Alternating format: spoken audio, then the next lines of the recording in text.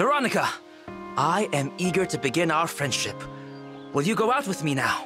What do you mean? Out where? You are quite formidable, Veronica. Come, show me more of your skill. For your sake, I must refuse. I envy you, Kagetsu.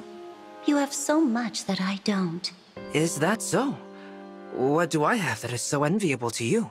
A cheerful personality, a carefree smile, and friends to share it with. I count you among those friends, Veronica.